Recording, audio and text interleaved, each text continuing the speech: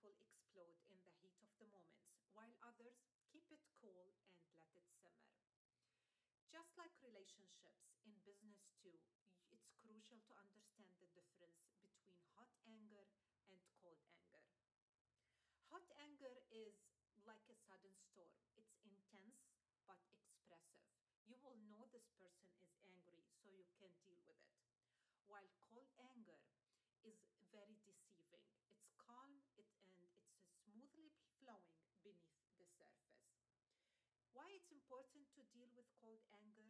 Because this anger tends to intensify over time and it can lead to really significant issues if it wasn't addressed. People or employees who adapt the cold anger attitude were mostly people who weren't hurt too. He, they have a problem, they had a certain issues, and they felt they were treated unfairly. They weren't listened to, or maybe they were blamed and they didn't justify it in the right way. As a result, they felt unheard, they stopped caring, and they felt there's no sense to express our